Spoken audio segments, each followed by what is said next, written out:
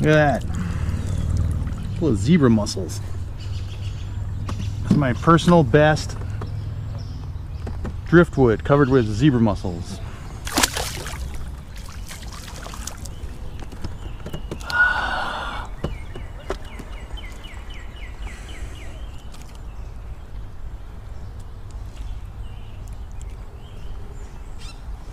Wow, that's the smallest one yet.